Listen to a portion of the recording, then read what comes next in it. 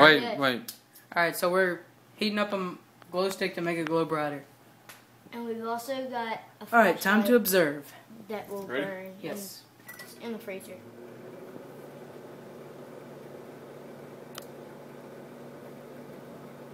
Take it. I'd say that's good, and that is definitely brighter. Glow stick making. Dude, that is awesome. Let's try this. Is that